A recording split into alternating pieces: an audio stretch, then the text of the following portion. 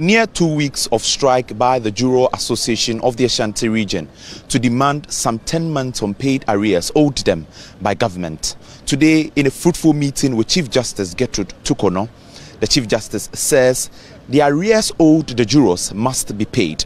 She criticized the fact that these arrears are not paid but promised to follow up.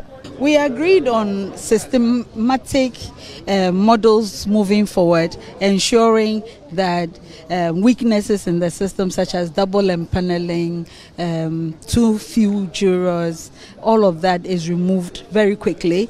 And we agreed on following on their um, allowances uh, to make sure that it, it, it's paid early.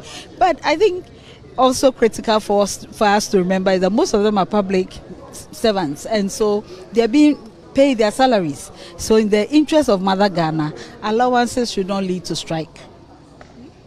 Which means that at the end of this meeting, the jurors will be calling off their strike. Is that they promised me they will do so, and I know they will.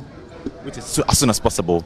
They have promised, and I know they will keep to their promise. but foreman of the Juror Association of the Ashanti region, Albert Aka, says they would be returning to court on Monday. He says they are officially calling off their strike. Uh, we, she has asked us to return to court on Monday, and uh, we have agreed to return to court. And uh, as uh, she promised, she said she's going to make sure that our allowance are paid in time. So on Monday, yes, why not?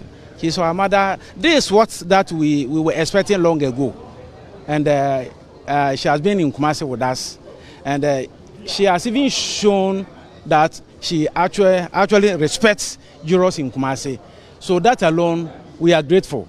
We are grateful for her. So on Monday, we are we are coming. I will talk to my people on the platform, those who came and those who couldn't come.